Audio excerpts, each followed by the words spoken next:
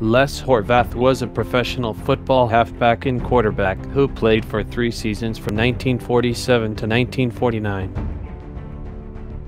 Horvath was born on October 12, 1921 in South Bend, Indiana.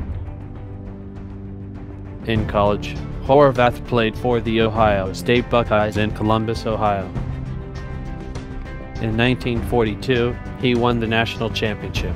In 1944, he received the Heisman Trophy, was named Big Ten Most Valuable Player, and was named unanimous All-American. Horvath was drafted by the Cleveland Browns in 1943 in the sixth round as the 45th overall pick. Over three seasons, Horvath played for the Los Angeles Rams and the Cleveland Browns. His first team was the Los Angeles Rams from 1947 to 1948. His second and last team was the Cleveland Browns in 1949. Here are some highlights from his one year with the Cleveland Browns. In 1949, he won the AAFC Championship. His Ohio State Buckeyes number 22 is retired.